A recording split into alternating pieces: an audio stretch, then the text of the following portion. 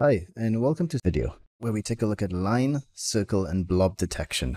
Okay, so what exactly is line detection? Well, there are two main algorithms for line detection, and those are HoughLines and probabilistic HoughLines. And HoughLines, basically, this is the function here in OpenCV. So we take in the input as a binarized image, and then we have this rho accuracy and theta accuracy and a threshold.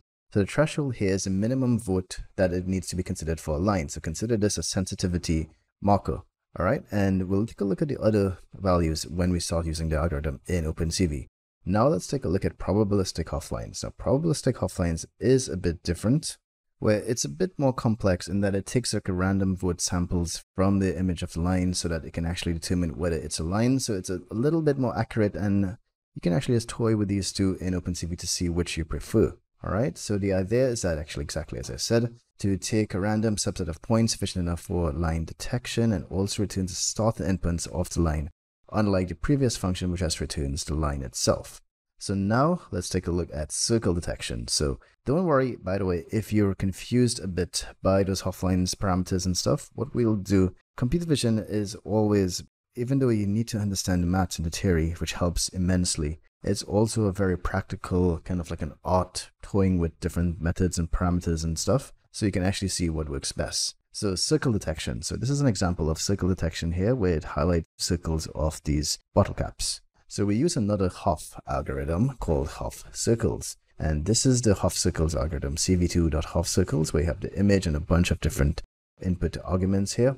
So the method here, where we only have Hough gradient available, dp stands for inverse ratio of the accumulator resolution, minimum distance between the centers of detected circles. These are always like good parameters depending on the image domain you're looking at. When I say image domain, depending on the type of image or type of circles you want to detect, you can have a lot of like false positives or you want to increase the sensitivity to get them. Okay.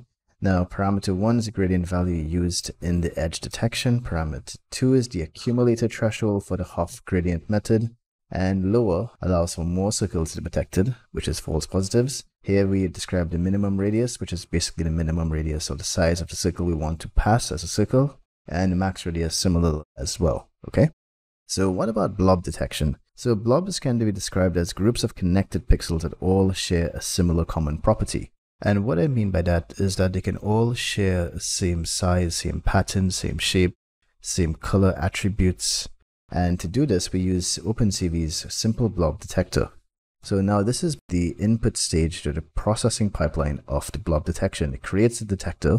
All right, you'll see this in our code shortly. Then we have the input image and feed the input image into the detector. It obtains the key points and then we draw the key points over the blobs that it detected. And this is an example of how the blob detection works on these daisy flowers here. Pretty cool, isn't it? So what have we learned in this video? We've learned basically types of line detections, which is one Hough probabilistic lines. We've learned about circle detection using Hough circle, and we've looked at blob detection as well. So now let's take a look at the practical part of this video, which is using line, circle, and blob detection in OpenCV. Thank you.